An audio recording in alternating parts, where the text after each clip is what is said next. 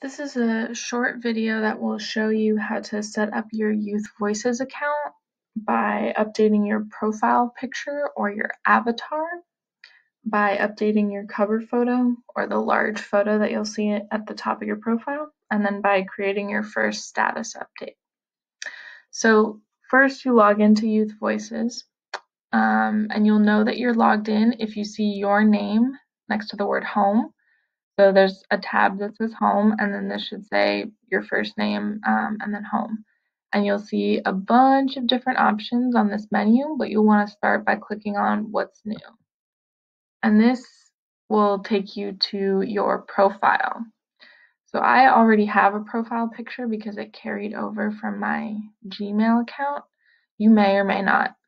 Um, and then this gray rectangle will become my cover photo when I choose one. Uh, and then this is my profile. So you can see there's some activity already.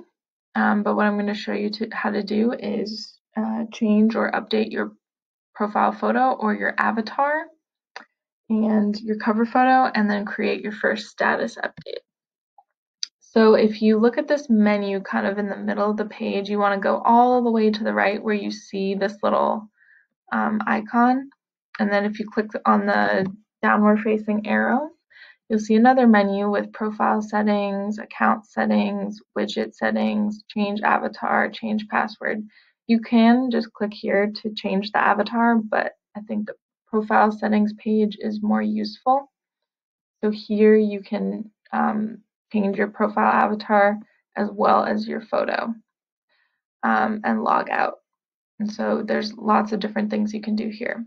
So your profile avatar is important because it's the picture that's going to be associated with all your activity on this page. And it's kind of like your online identity.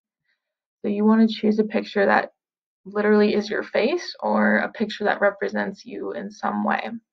Um, and you'll see that on Youth Voices, there's a whole variety of, of pictures that people choose. Um, so choose whatever you're comfortable with it, as long as it's appropriate for school and it's something that represents you. Um, so you can take a photo literally by using the webcam on your computer, or you can upload a photo. Um, I have not had success uh, dragging files from the internet, um, like searching something up, so you need to download the picture first.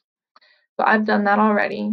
Um, I'm going to select my file. So this takes me to a folder um, where I saved, you know, other pictures like this.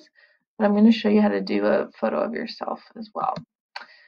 Um, so I have a picture saved in um, saved on my computer, and this is a photo of myself. But you'll see um, it's quite a large photo.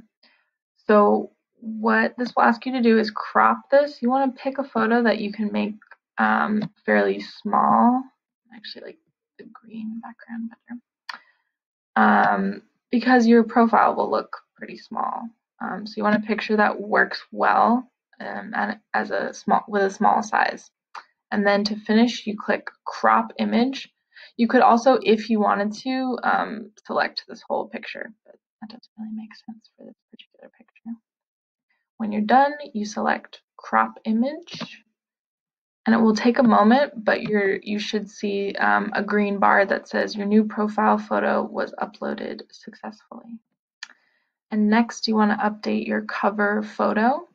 So you can click on the pink icon that says profile cover, has the picture of the camera. And you want to select a cover image. So the cover image, as you saw, is like a large rectangle. So you want to use a really large picture, otherwise the quality will not be good. Um, so this says um, the pixel sizes that you need, but uh, you can just test it out using different pictures too. Um, so I have some pictures saved on my desktop. Um, I think I'm going to choose this one. Maybe this one, I don't know. So I'll select the picture, you'll see it upload, and you won't see that it worked right away. What you'll want to do is uh, go back to the home screen. And on the home screen, uh, you can go back to your home page by clicking on what's new sorry, not your home page, your profile page. And then the picture should have um, uploaded. Obviously, I needed to fix this one a little bit because um, you can't really see it. So um, I can go ahead and do that by going back to profile settings uh, and choosing um, choosing a different photo or making changes to the one that I uploaded. And a quick way to get back to your profile page is to click on the yellow icon which says view profile. So home will take you to the the home page of Youth Voices and then the profile page will take you to your personal profile. So I've updated my avatar. I have a cover photo in the background. And then the last thing to set this up is I want to do a status update. So I can say, today I am feeling good because I am setting up my Youth Voices account. So um, before you post, you want to make sure that um, you are comfortable with how public your post is. So you can share it so that it's only me. Um, so that means no one else can see it. You can share it with friends. You don't have any friends on this site yet. Um, basically, you can share it only me or uh, make it public.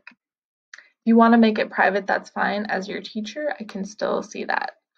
So I can add um, emotions. You'll notice this is very much like um, a lot of social media pages. And make sure you click post before um, leaving this page.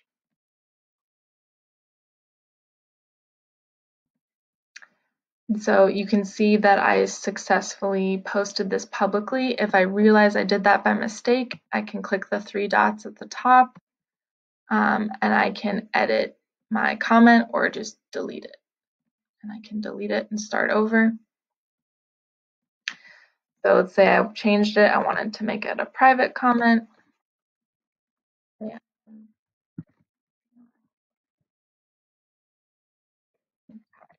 Something a little more private that I don't want to share with anybody. Uh, and then I can add some emojis. like this, and then I can post. But I'm the only person who can see this, nobody else. So that little lock symbol shows that it's a private post.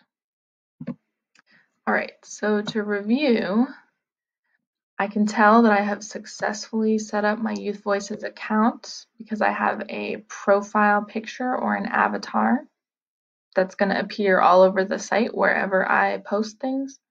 I have a cover photo and I have one status update, which I decided to make private. And that's, and I'm all done setting it up for now.